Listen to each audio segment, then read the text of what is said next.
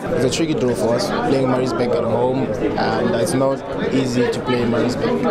Um, they fight very well, you know, and um, I know everybody's expecting us to win the game on the day, but uh, for us, we're not going to take uh, Maritzburg for granted. We're going to work hard on the day.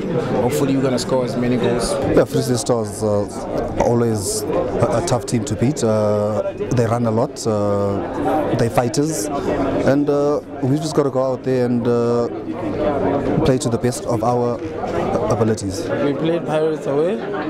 People didn't give us hope. We shall cause an upset when we go to FNB again. But in, in essence, I shall say that in order to be the best, you have to beat the best. Um, I'm happy with Supersport United. I know the team will be happy. We played them a couple of weeks ago in the in the league. Um, I feel we can contain them and overcome them. I'm, I'm happy with the with the draw. Uh, but like I said, Cosmos is they, they're a good team. Doesn't matter where they where they are on the lock, they are a good team. You don't know what to expect from cup games, you know, and uh, I think each and every team has got a good opportunity of going through to the next round.